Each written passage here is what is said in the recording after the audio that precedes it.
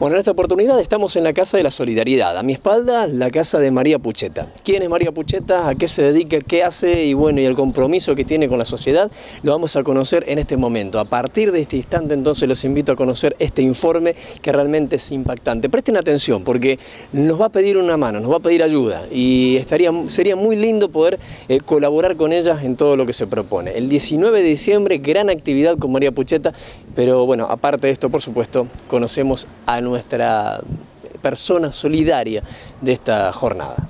Eh, María, primero no te llamás, o sea, tu nombre en el documento, ¿cómo es? ¿María Pucheta o hay otro apellido por ahí? No, María de Pompeya Escobar, pero yo soy la mamá de Sergio Pucheta, no hay otra. Así que bueno, quedó el apellido de tu hijo, quedó para, para que todos te conozcamos. Así me conocen. Eh, de nombre soltera no me conoce nadie. María, eh, cuando hablamos de solidaridad no se puede evitar pensar en todo el trabajo que haces en el Hospital Perrando. ¿Cómo empieza la, actividad social, cómo empieza la solidaridad eh, a reflejarse bueno, de María Pucheta en adelante? Y bueno, hace cuatro años y medio este, pidiendo al doctor Meiriño, José Luis Meiriño como director, unas bolsas de colostomía para un chico del Juan Bautista Alberdi. Le vengo a solicitar si nos, nos podía dar porque no teníamos plata y bueno, y me dice, sí, te voy a dar, pero con una condición que venga a trabajar con nosotros. Eh, a, la, par paralelo, eh, yo trabajaba mucho con su hijo Alejandro Meiriño, que está en el Favaloro, porque por vía fax le pasaba las patologías, ¿no es cierto? Y bueno, le preguntaba a Alejandro, mira, ¿es factible esto que vaya a Buenos Aires? Y bueno, así me manejaba yo, ¿no es cierto? Y bueno, este, gracias a Dios pasé al Hospital Perrando, estoy muy contenta, me siento útil, muy útil, me, hace vivir, eh, me da fuerza para seguir el día a día. María, ¿por qué neonatología, el área de maternidad? ¿Por qué los bebés y las mamás a la hora de decidir eh, llevar toda tu fuerza solidaria?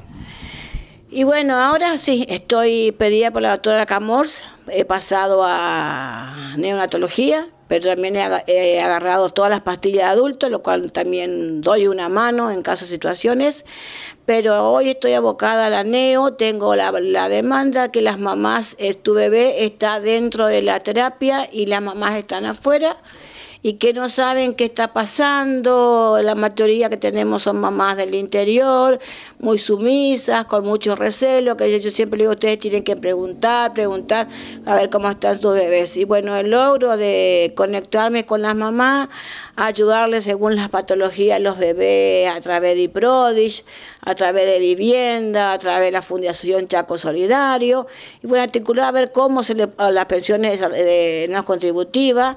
Y bueno, ese es mi compromiso y eso es mi aporte que yo hago en las mamás, ¿no es cierto? Porque el médico hace la parte médica, pero cuando salí, ¿qué haces con un bebé con discapacidad? Que no tenés un lugar acorde a lo que va a ir ese bebé que a lo mejor se tienen que ir con oxígeno, se tienen que ir con tráqueos, hay que son muchas cosas. Y bueno, lo que yo puedo, golpeo puertas, porque me ha quedado muchísimas puertas que gracias a Dios te puedo decir responden. Eh, María, eh, hablamos de, sensibilidad social. Eh, ¿Falta un poco más de sensibilidad en nuestra sociedad para poder acompañar este tipo de objetivos? Sí, falta mucho, falta mucho, falta mucho, hay mucha indiferencia. Es decir, que no me interesa, a mí no me toca, este, entonces tenés que golpear puertas, tenés que golpear puertas y bueno, este, enfrentar y yo te digo que el Estado está muy indiferente a las situaciones. Eh, tenemos grupos de chicos de colegios que van, llevan azúcar, llevan hierba, van a tomar mate con las mamitas. Es muy largo estar dos, tres, cuatro, cinco meses en estar desde la terapia uno, dos o tres de la neo, ¿no es cierto? Entonces un mínimo mate para ellos es muchísimo. Entonces, eso también tenemos un grupo muy lindo que se preocupan y vienen a ver a las mamás. O sea, contener es importante la contención. Si una mamá no está contenida, está sola, y no sirve, no sirve porque entras de bajoneada este, y otra de las cosas que a mí me gustaría es que eh, piensen el gobierno que entra hacer un lugar físico para las mamás, para que puedan descansar, que puedan comer, este, porque cada tres horas vienen a ver a sus babies, es muy importante. Eh, María, bueno, eh, empiezan a aparecer en el camino de, tu vida, de tu trayectoria dentro del ámbito social, eh, las campañas cada día, Día de la Madre, Día de Navidad, llega Reyes, Año Nuevo, eh, y siempre María Pucheta está ahí firme frente al Hospital Perrando con alguna actividad y preparándose para poder regalar eh, mucha solidaridad. ¿Cómo surge esa idea de empezar a hacerlo? Y comenzó primero Javier con el asunto que veíamos eh, la parte adulta, por ejemplo, que venían traídos de la ambulancia pacientes así en ropa, que cuando ahí llegan, le sacan, le bañan y quedan sin nada. Entonces con el licenciado Acosta y la licenciada Maquinón dijimos, ¿qué vamos a hacer? Empezar a pedir ropa. Comenzamos con eso, a pedir ropa, eh, después de artículos de aseo. Y bueno, cuando pasé al aneo, yo vi que, las, por ejemplo, la mamá canguro, un tiempo ya llega a los dos kilos, ya un kilo de 90 ya la tienen que vestir al baby. Y ahí se encuentran que no tienen ropita ni el bebé.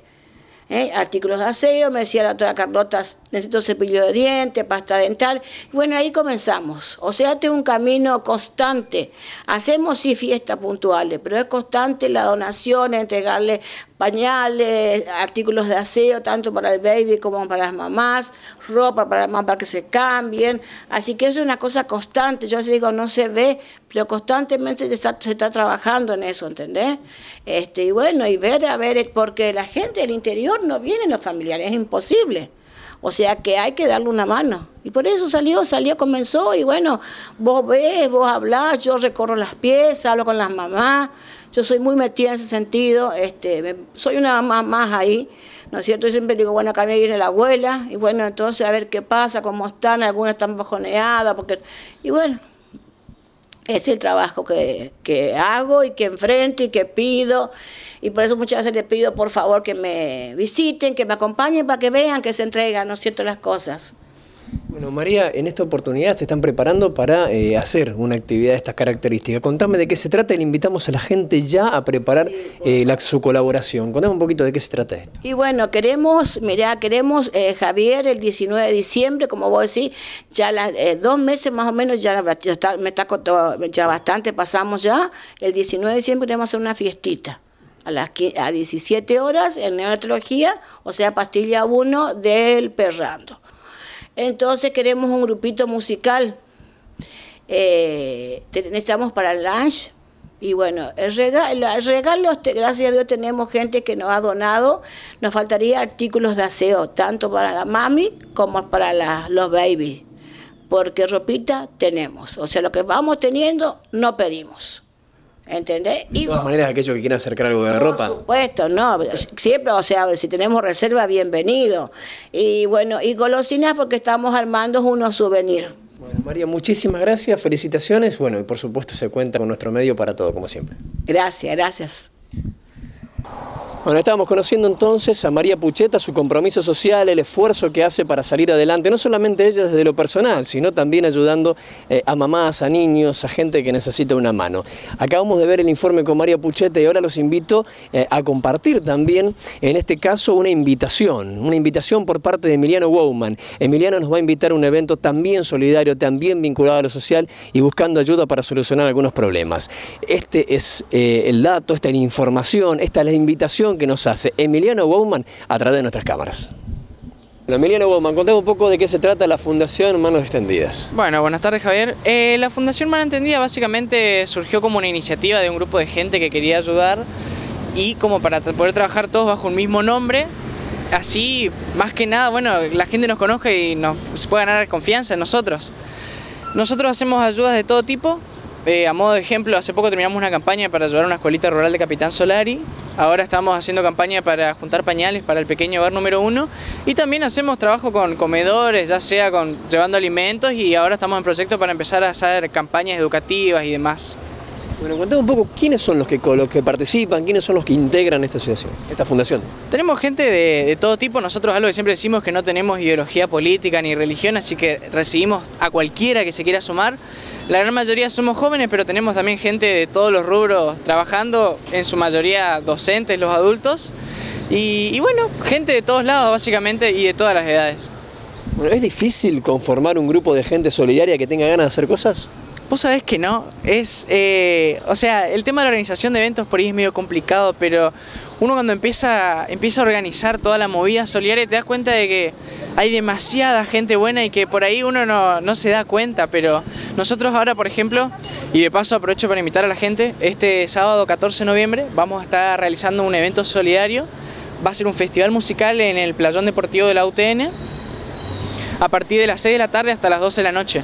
Se van a estar presentando 7, 8 bandas, vamos a tener cantina, choripaneada, todo. Lo único que le pedimos a la gente de colaboración son en la entrada 20 pesos que se va a destinar a los pañales y un alimento no perecero que se va a destinar a alguno de los comedores con los que nosotros trabajamos. Reiterame qué día, horario y lugar de, de, este evento del próximo sábado. Este sábado 14 de noviembre en el Playón Deportivo de la UTN, que es Ayacucho entre Avenida Italia y Calle French. Vamos a estar realizando el festival, va a empezar a eso de las 6 de la tarde y somos bastante puntuales, así que para los que conozcan el mundo de la música, no se fíen de que va a empezar más tarde porque la 6 vamos a estar alargando. Eh, la idea es terminarlo a las 12, una y seguramente como me tiraron la idea vamos a terminar con algún karaoke, alguna zapada o algo, así que los invito a todos los que tengan ganas. Bueno, la invitación está hecha y hoy hemos compartido un informe doble, conocer la solidaridad de la mano de una mujer extraordinaria, conocer a un joven comprometido con la sociedad y con la solidaridad y bueno, dos invitaciones importantes también, a colaborar con el Hospital Julio C. Perrando, con la gente eh, que acompaña a María Pucheta y acompañar a Emiliano Bowman en una actividad también solidaria que está vinculada con la música. Señores, desde acá es todo, ustedes siguen en estudios.